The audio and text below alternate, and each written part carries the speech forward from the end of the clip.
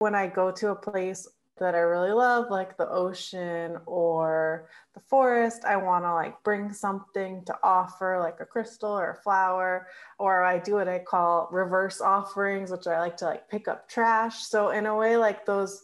gestures are superstitious and they're like about my own personal relationships to place but they remind me to like be present and be grateful and think about my relationship to the land superstition for me also has to do with finding symbols in nature um, like finding certain kinds of feathers or seashells or other things that are both symbolic and material. And i think thinking about climate change in relation to those draws attention to the way things are out of sync and like we're not going to find the same signs of seasonal change or things that feel like good luck as the ecosystem changes due to climate change